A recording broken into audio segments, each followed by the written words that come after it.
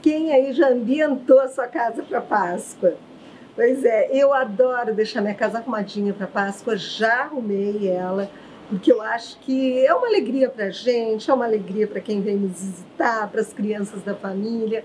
Afinal, as datas têm que ser comemoradas e a gente tem que deixar assim os nossos ambientes temáticos. Não é? Estou aqui na Loft e a Loft é essa loja incrível que tem tudo aquilo que a gente ama. E olhem aqui as coisinhas de Páscoa, gente, que chegaram. Olha esses pratos aqui para mesa, enfeites, as cenourinhas, tudo nessas cores assim adocicadas, como manda a Páscoa, não é? E olhem quanta coisa bonita. Os coelhinhos, ó, pra gente colocar os pratinhos, aqui coelhinhos avulsos para colocar na mesa. Olha isso aqui, gente. Olhem que amor.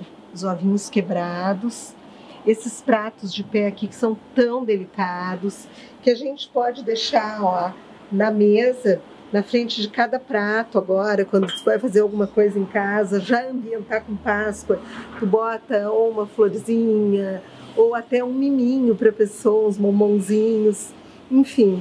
A Lovit já recebeu muita coisa de Páscoa, tá? Isso aqui é só uma palhinha.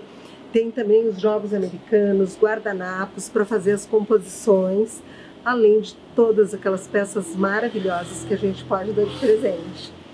Isso aqui é um mundo, gente, é um mundo à parte. Tu encontra muita coisa para deixar a casa ambientada, aconchegante, prontinha assim para a gente poder curtir a casa e agora a gente começa uma época tão boa, não é? Que a época começa a refrescar aqui no sul e que a gente começa a ficar mais em casa. Então, venham aqui na Loft, porque a Loft está esperando vocês com o melhor presente, a melhor decoração e também com produtos de Páscoa, produtos para enfeitar a casa de Páscoa.